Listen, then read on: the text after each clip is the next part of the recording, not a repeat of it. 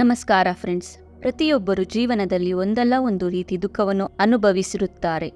ಇದು ಮನುಷ್ಯನ ಸಹಜವಾದ ಭಾವನೆ. ಆದರೆ ಕೆಲವೊಮ್ಮೆ ಅತಿಯಾದ ದುಃಖದಿಂದ ಮನುಷ್ಯನ ಜೀವಹಾನಿ ಆಗಬಹುದು. ಯಾರು ತಮ್ಮ ಭಾವನೆಗಳ ಮೇಲೆ ನಿಯಂತ್ರಣ ಇಡಲು ಸಾಧ್ಯವಿಲ್ಲವೋ, ಅವರು ದುಃಖದಿಂದ ಹೊರಬರಲು ಸಾಧ್ಯವಾಗುವುದಿಲ್ಲ. ಆದರೆ ಆ ಕಠಿಣ ಸಮಯದಿಂದ ಹೊರಬರಲು ಈ ವಿಡಿಯೋದಲ್ಲಿ ಹೇಳಿರುವ ಕೆಲವು ಟಿಪ್ಸ್ ಆ್ಯಂಡ್ ಸ್ಟ್ರಾಟಜೀಸ್ ಫಾಲೋ ಮಾಡೋದ್ರಿಂದ ಸುಲಭವಾಗಿ ದುಃಖದಿಂದ ಹೊರಬರಬಹುದು. ಹಾಗೆ ಕ್ರಮೇಣವಾಗಿ ನಮ್ಮ ಭಾವನೆಗಳನ್ನು ನಿಯಂತ್ರಿಸಬಹುದು. ನಂಬರ್ ಒನ್ ಫೀಲಿಂಗ್ಸ್ ಚೇಂಜ್ ಅಂದರೆ ಸಮಯ ಬದಲಾಗುವಂತೆ ನಮ್ಮ ಭಾವನೆಗಳು ಬದಲಾಗುತ್ತವೆ.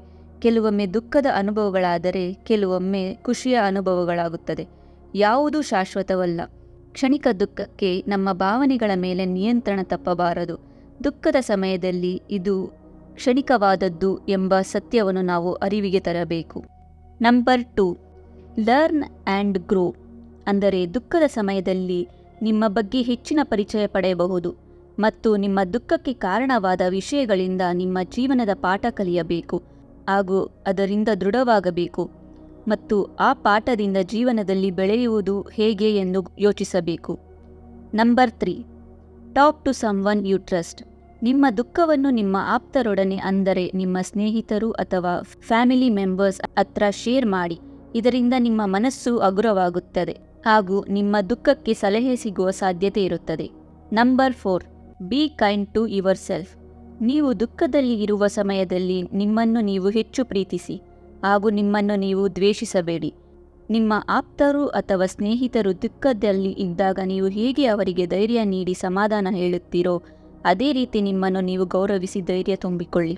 Number five look for bright moment ನೀವು ಎಷ್ಟೇ ದುಃಖದಲ್ಲಿದ್ದರೂ ನಿಮಗೆ ಮನಸ್ಸಿಗೆ ಸಂತೋಷ ತರುವ ಯಾವುದಾದರೂ ವಿಷಯ ನಿಮ್ಮ ಸುತ್ತಲೇ ಇರುತ್ತದೆ. ಅದನ್ನು ಗಮನಿಸಿ, ಇದರಿಂದ ನಿಮ್ಮ ಮನಸ್ಸಿಗೆ ಹಗುರವಾಗುತ್ತದೆ ಹಾಗೂ ನೀವು ಮತ್ತೆ ಹೋಪ್ಫುಲ್ ಫೀಲ್ ಮಾಡಬಹುದು. Number six do things you enjoy ನೀವು ದುಃಖದಲ್ಲಿದ್ದಾಗ ನಿಮಗೆ ತುಂಬ ಇಷ್ಟವಾಗುವ ಕೆಲಸಗಳನ್ನು ಮಾಡಿ, ಅಂದರೆ ಡ್ರಾಯಿಂಗ್ ಮಾಡುವುದು ಬುಕ್ಸ್ ಓದುವುದು ಟ್ರಾವೆಲ್ ಮಾಡುವುದು ಅಥವಾ ಮೂವೀಸ್ ನೋಡುವುದು, ಈ ಥರ ಯಾವುದಾದರೂ ನಿಮಗೆ ಎಂಜಾಯ್ ಆಗೋ ವಿಷಯಗಳನ್ನು ಮಾಡಿ. ಇದರಿಂದ ನೀವು ಹೆಚ್ಚು ಚಿಯರ್ಫುಲ್ ಫೀಲ್ ಮಾಡಬಹುದು. Number seven think positive thoughts ನೀವು ದುಃಖದಲ್ಲಿ ಇದ್ದಾಗ ಎಲ್ಲವೂ ಕೆಟ್ಟದಾಗಿ ಕಾಣುತ್ತದೆ. ಆದರೆ ನೀವು ಹೆಚ್ಚು ಒಳ್ಳೆಯ ವಿಷಯಗಳನ್ನು ಥಿಂಕ್ ಮಾಡೋದ್ರಿಂದ, ಅಂದರೆ ನಿಮ್ಮ ಜೀವನದಲ್ಲಿ ನಡೆದ ಒಳ್ಳೆಯ ಘಟನೆಗಳು ಅಥವಾ ನಿಮ್ಮ ಫ್ಯೂಚರಲ್ಲಿ ನಡೆಯೋ ಎಕ್ಸೈಟಿಂಗ್ ವಿಷಯಗಳ ಬಗ್ಗೆ ಹೆಚ್ಚು ಥಿಂಕ್ ಮಾಡೋದ್ರಿಂದ ನೀವು ಹೆಚ್ಚು ಪಾಸಿಟಿವ್ ಆಗಿ ಫೀಲ್ ಮಾಡಬಹುದು. Number eight take deep breath ನೀವು ದುಃಖದಲ್ಲಿ ಇದ್ದಾಗ ನೀವು ಹೆಚ್ಚು ಟೆನ್ಸ್ಡ್ ಆಗಿ ಅಥವಾ ಅಪ್ಸೆಟ್ ಆಗಿ ಫೀಲ್ ಮಾಡ್ತೀರಾ?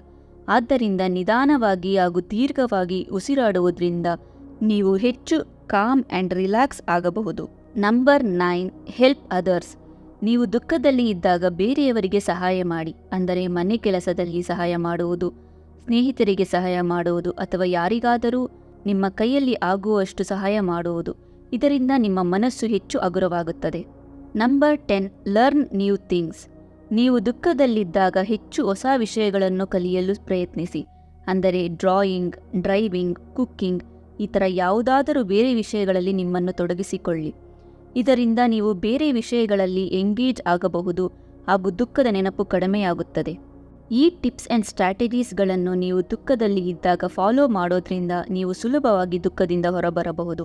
ಈ ವಿಡಿಯೋ ನಿಮಗೆ ಇಷ್ಟ ಆಗಿದ್ದರೆ ಈ ವಿಡಿಯೋನ ಲೈಕ್ ಮಾಡಿ, ಶೇರ್ ಮಾಡಿ ಹಾಗೂ ನಮ್ಮ ಚಾನೆಲ್ನ ಸಬ್ಸ್ಕ್ರೈಬ್ ಮಾಡಿ.